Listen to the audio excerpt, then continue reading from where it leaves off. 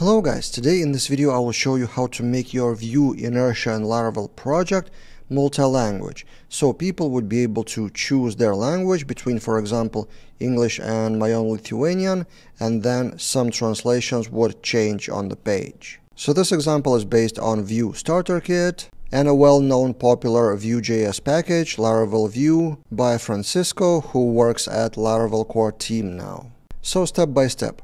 On a database level, in the users table, we have a column called locale, which is by default English, so whoever registers has the English locale but can change it later. Next, translations are stored in the typical Laravel lang folder, en and lt, for example with dashboard or sidebar, there's one translated, sidebar is translated, so enough for the demonstration, but I didn't go deeper to translate all the project. Next, we have a global middleware to set the locale on the backend in the Laravel level. So we have with middleware in the Bootstrap app file of Laravel, and we have set locale middleware, which gets the locale either from user database table, from user session, or from get preferred language, which is from the browser. And then it is set as active language on the backend. So that's why, for example, for this user, for Elvis May, if we refresh the database, our new user has the locale of LT. That's why LT is active here. So that's the backend Laravel part. Next, with inertia, there's a middleware called handle inertia request, which is used to pass some global variables to Vue.js. So for example, if you want to show auth user, this is available, but also here we add locale. And this is done very similarly how the middleware does it on the back end. So locale is taken either from database table or from the browser from preferred language, which then later makes it available as page props locale here. We'll get to that Vue.js part in a second. Next on the front end, we install that package that I already mentioned in the beginning. So npm install and then for setup, we have this with Vite.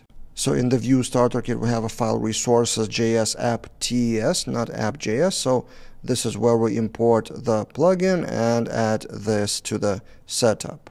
And by the way, I will put all the repository on GitHub and will make it public and the link will be in the description below. And also according to the docs of that package, we need to add that to define config in Vite configuration like this.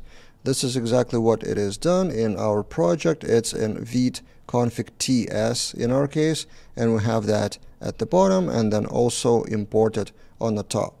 And then in the Vue.js component, how you access the translations, then there are two options.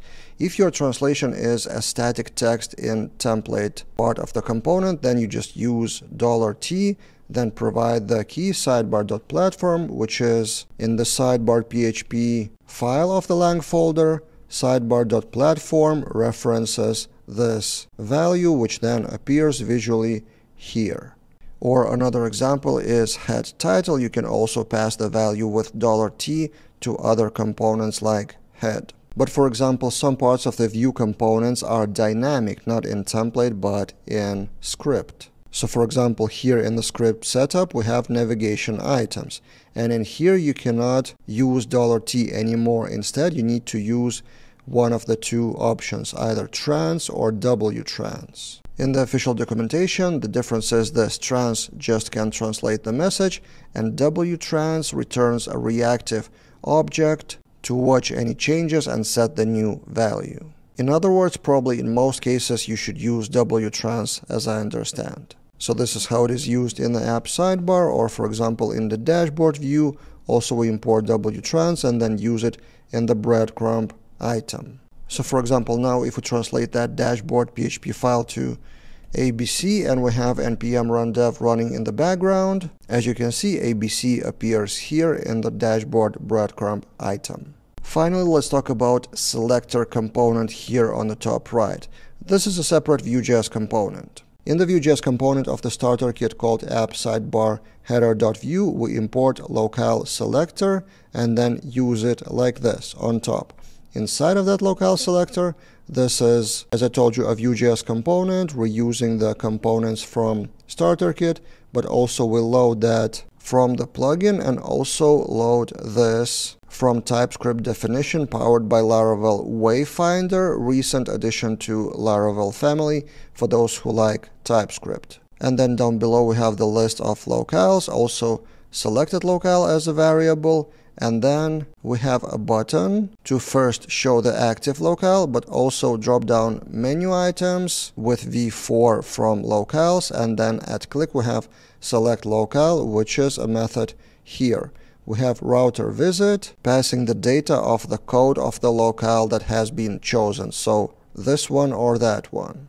And then that set locale controller, what it does is just updating the database table with the locale. You potentially may have more validation here, and then we return back. And then the whole loop of actions that I've shown a few minutes ago starts with another language, setting everything on the back end, on the front end, and making it accessible with the package as $T or wtrans function. So yeah, that's the overview of that project. As I said, the repository will be in the description below. What do you think? Would you have done something differently? That's my usual question at the end of the videos. And by the way, if you're not familiar how Vue.js starter kit works, on the courses section of Laravel Daily, we have separate section of three courses on three different starter kits that come with Laravel 12.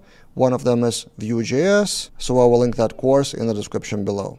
That's it for this time and see you guys in other videos.